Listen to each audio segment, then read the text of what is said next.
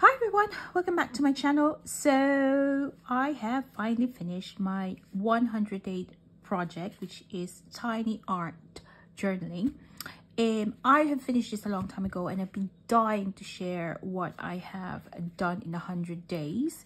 As you know, I have shared some of the pages, like process videos about, so, of some of the pages, but I thought I'd leave the rest as kind of like a surprise or I didn't share everything. I wanted to have an element of surprise. Anyway, so I've used two, two tiny TN journals and one, and a, well, a bit of the, um, this insert here in the third tiny TN. So I'll put the music on and I'll flick through the pages and I'll um, start talking it start start talking again at the end of the video.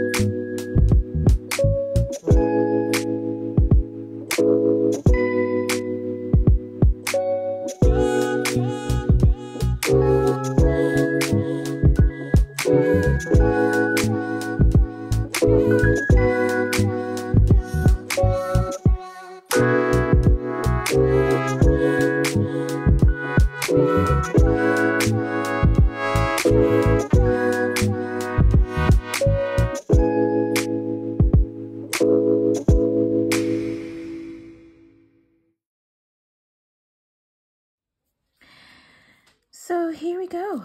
Um, that's my 100 day project. I was really um so happy I found a surprise. Um, so this I took this I took the um my finished TNs um with me to Planner Fest because I did um creativity station and I put them on the table as a sample.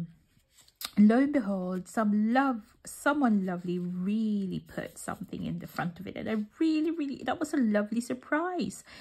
Um, and I'm so happy to have found that nugget of um, art there.